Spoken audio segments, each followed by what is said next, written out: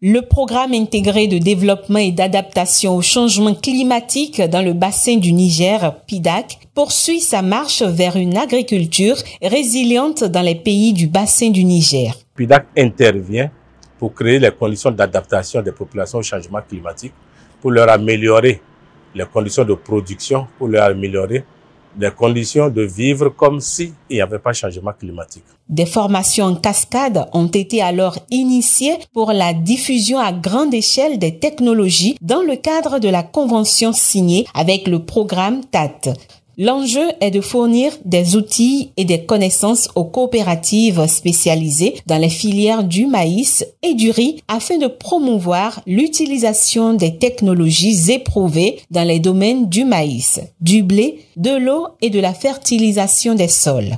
Pendant la période du 26 avril au 7 mai 2023, un atelier itinérant a été organisé rassemblant 25 coopératives de riz et 35 coopératives de maïs provenant de différentes régions dont Banikwara, Bembereke, Gogounou, Kalale, Kandi, Karimama, Keru, Kwande, Malonville, Niki, Peunko, Sigbanan et Sinande. Cette formation-là, c'est pour que vous vous adaptiez à l'agriculture intelligente face au changement climatique. Nous disons agriculture intelligente parce que il y a changement climatique.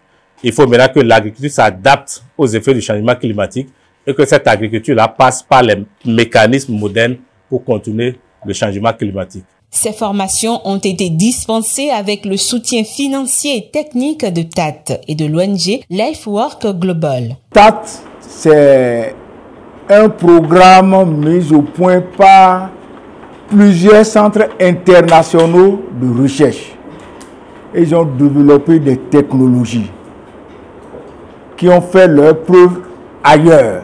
TAT a voulu mettre ça à la disposition des producteurs. Vous avez vos technologies. Et TAT aussi a amélioré certaines technologies pour compléter ce que vous vous faites déjà pour pouvoir doubler le rendement. L'objectif de l'EFOC lors de ces différentes formations en cascade, c'est de dissimuler, de donner la notion de la fabrication des engrais minéraux faciles, purement organiques aux agriculteurs, afin qu'ils puissent au moins gagner leur vie à, à l'aide de la terre qu'elles cultivent. Ces différentes associations, que ce soit les maraîchers, que ce soit les paysans dans les environs les plus reculés. Étant donné que, vu la chérité que nous traversons ces derniers temps, vu la non-maîtrise de la composition aussi des engrais chimiques, TAT facilite l'accès de cette technologie aux populations dans les points reculés. Quant aux sessions, elles ont été animées par les chefs programmes riz et maïs qui ont participé à l'atelier régional sur les technologies éprouvées en agriculture intelligente à Dosso au Niger. Le PIDAC et TAT se sont donné la main avec euh, euh, l'autorité du bassin du Niger et ont organisé une formation au Niger, à Dosso, où ils ont formé des techniciens des structures de l'agriculture. Euh, le cas du Bénin, c'est les ATDA 1 et l'ATDA 2 qui ont participé à cette formation en guise d'accompagnement du PIDAC et à leur tour, ils devront venir au pays, former les producteurs, former les techniciens pour la dissémination de la formation, c'est-à-dire faire les formations en cascade au niveau du terrain. Grâce à une approche interactive, utilisant des posters et des catalogues, les participants ont pu échanger des informations et en ont été satisfaits. Pendant les quatre jours, j'ai retenu beaucoup de choses parce que j'ai vu les variétés de semences beaucoup de variétés de semences que moi-même je ne savais pas.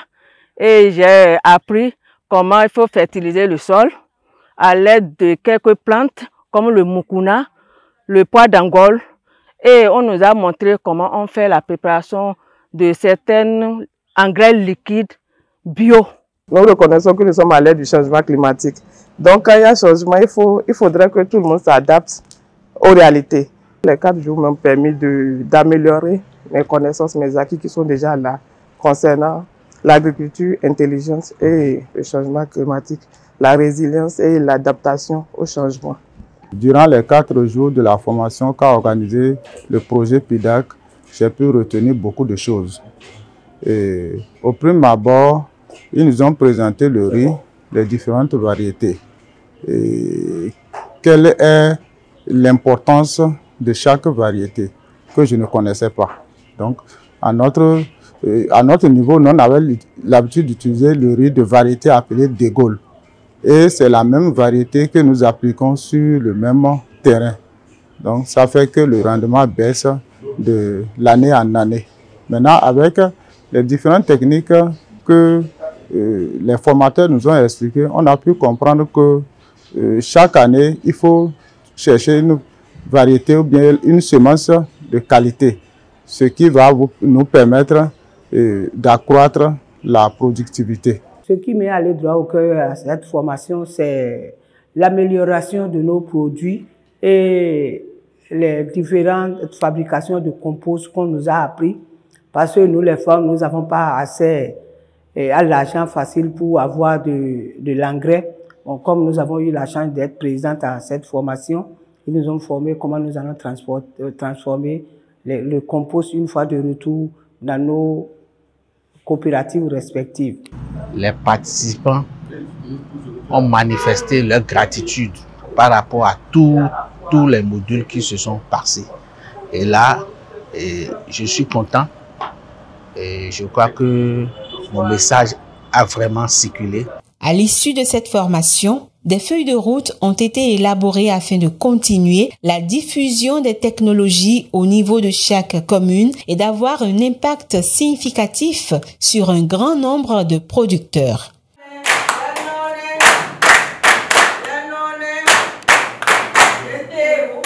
Vu l'ambiance, vu l'engouement et vu les doléances des producteurs, nous disons que l'objectif est atteint.